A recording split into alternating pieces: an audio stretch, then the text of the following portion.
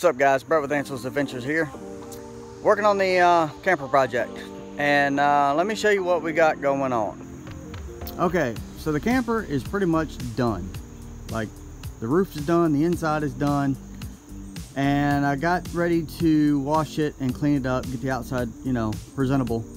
And when I washed it, you can see all the paint is just coming right off. It is absolutely toast on the paint. So uh, that was just with soft soap and a scrub brush and a garden hose.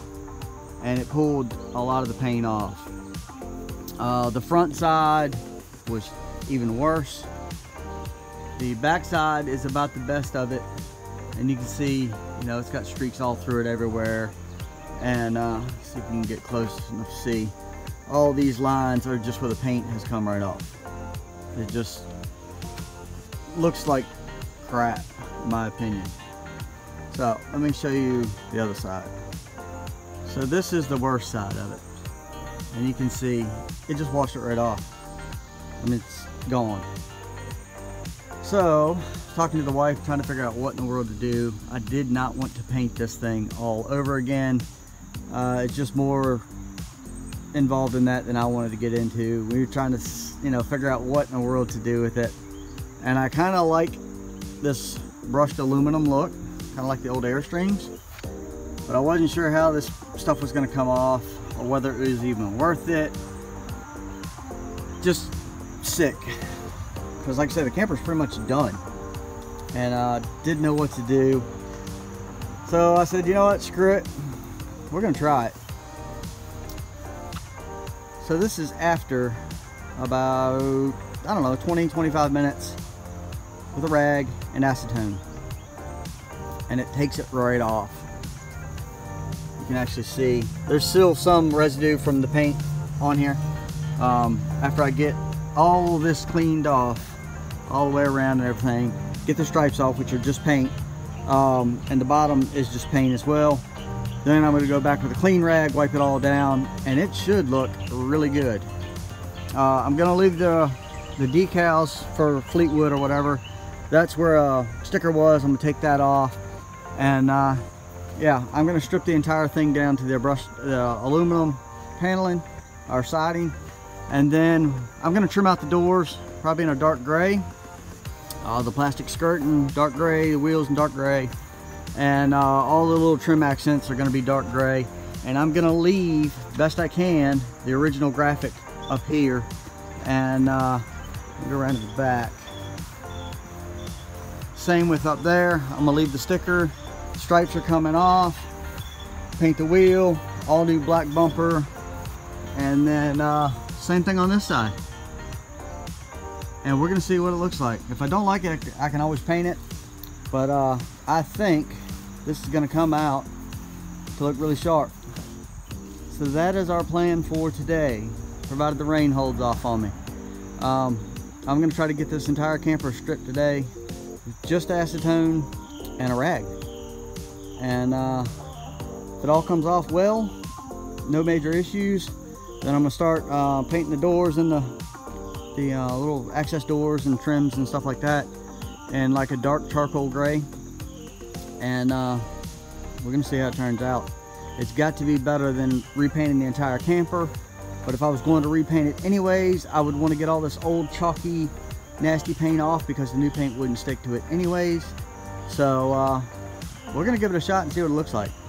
I'm thinking I'm gonna dig it. Uh, I love the old Airstream looks and uh, this is gonna be a little bit more modern version of that. So let's get to it. All right, one thing I failed to mention, um, I am using acetone to take the white off, but the uh, stripes and decals and stuff, I am gonna use a paint stripper. Um, the Acetone does take it off, but you have to scrub a lot harder than I feel like doing. So we're gonna spray that very carefully and then probably wipe it on down here on this end around the decals and stuff that I wanna save.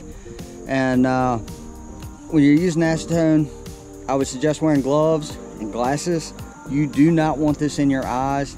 If you were to drop the can or set the can down hard and it splash up, you're going to the emergency room. So definitely, I would say minimum glasses and gloves Um, I'm not sure if latex gloves will stand the acetone. I've been doing it barehanded. It doesn't bother me. Um, if you have a cut in your hand, you are going to find it. Um, it will let you know where you've been nicked. Um, but it's not too terrible bad. Um, but yeah, definitely use precaution when you're handling this stuff because um, it can be, you know, pretty dangerous health-wise. All right, we're gonna get started.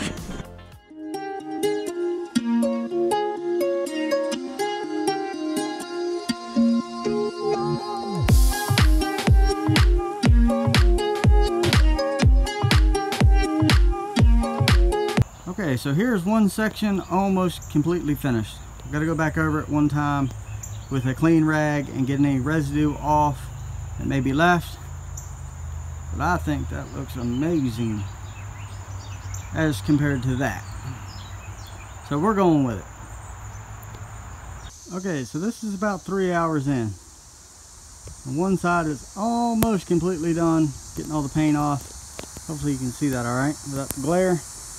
Uh, I've still got to go back over it one more time with the clean rag and get any residue off and then decide about the doors and uh, trim on the windows and stuff. I'm not finding the uh, off-white annoying, but I'm gonna get the wife's opinion of it and see what she thinks. I think the uh, the dark charcoal gray looking paint that I've got would look really good with it, but I'm not hating the white. But we'll have to make a determination on that after I get it all, all the uh, white off. But so far, so good. Just a lot of elbow grease.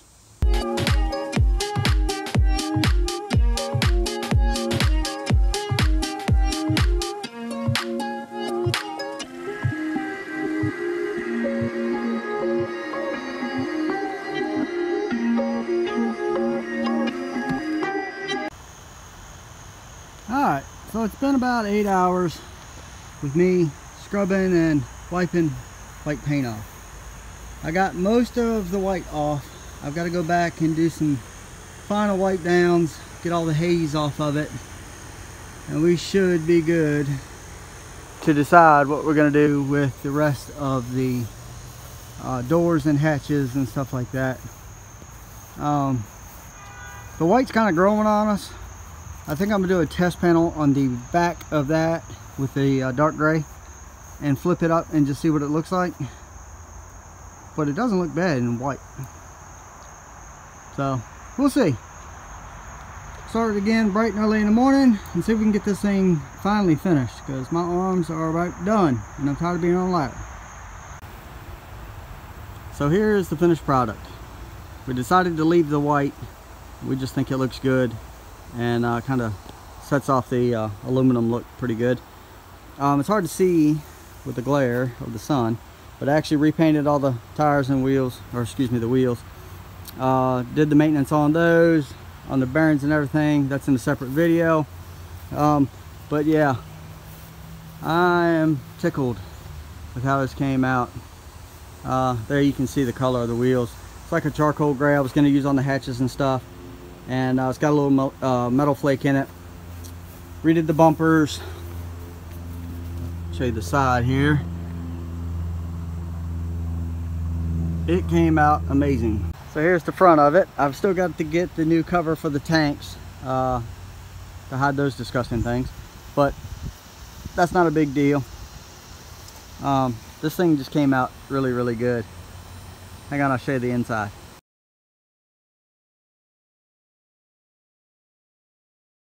Alright, here's where we're going to start our grand tour.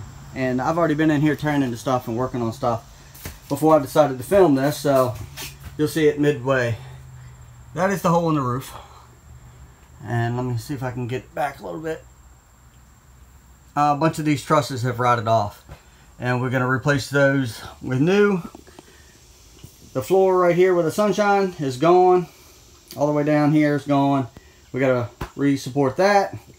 That's just dirty. Mattress I ch uh, chunked. Going to get a new memory foam mattress for this. Uh, because I like to camp quite a bit and I want something comfortable. Uh, AC hole, the trusses here, right here, have actually uh, rotted and compressed, so it left a big bowl where the AC sat, let water run in. Fortunately, the floor underneath of it's good, so we're good there. Uh, take you back here to the other worst spot. Ceiling here, uh, that whole back corner is gone. Same thing, trusses, redo all the plywood and everything.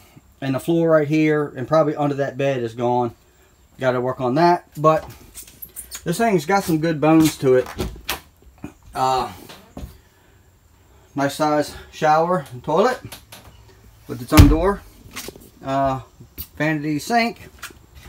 Ooh, make you seasick.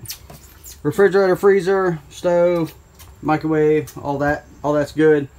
Um, this thing's got a lot of cabinetry, which I'm not used to because I'm used to staying in a pop-up. So that's good. Um, and like I said, what is here is good. The rest of the floor is good. Most of the ceiling in here is good. Um, don't have any issues with that other than where the water got in, which is, you know, the biggest problem with these campers.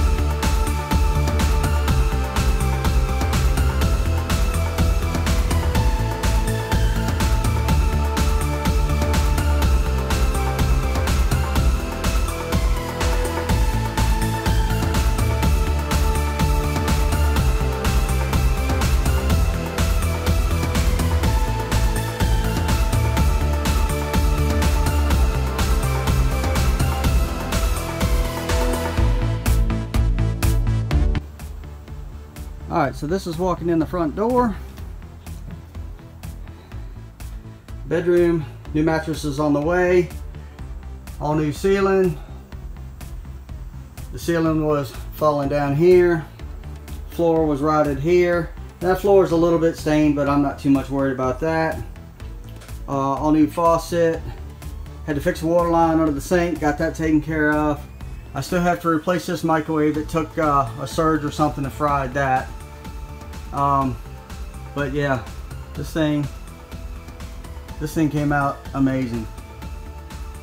Now keep in mind, this was a $400 camper that was pretty much destroyed. There's a little bit of staining back there on that wall. The mattress will cover that. I've got two mattresses coming. Uh, this entire floor here, all the way across, was gone. I'll show videos or pictures of that. Um, bathroom cleaned up well. New skylight. I mean, it just came out absolutely amazing, I think. And like I say, I did this in three weeks. Uh, pretty much all by myself other than one day I had uh, buddy help me get the roof laid out and get it on there. Um, yeah, I am tickled. Alright, so I hope you liked the video. Uh, shows you what you can do for not a lot of, a lot of money. Um, we have $1,600 uh, in this camper. That was my budget. Uh, that's what I got uh, in replacement for my other pop-up that got smashed by the tree. Um, 1600 bucks is not bad considering I had to buy tires, replace the roof, and uh, fix all the other issues that came up. Um, when I stripped the camper, I actually used uh, three gallons of acetone and it came out to like 75 bucks. Uh, a self-etching primer, one gallon was like 90 bucks. And then I had to buy paint and paint it. And I still had to strip everything off to do what I did. Now I know this look isn't for everybody, but we dig it. And uh, I'm sure there's gonna be some maintenance to keep up, uh, to keep it from uh, corroding and having issues down the road uh, with the aluminum. But I can put wax on, not a big deal. And uh, I think it changed the entire look of the camper. So uh, let me know what you think in the comments. Something you'd uh, consider doing, hate it, love it, let me know what you think. All right, if you like the video, click like, uh, hit that subscribe button, and uh, yeah, keep up to date with what's going on on the channel. And uh, thank you guys for all the support. See you on the next one.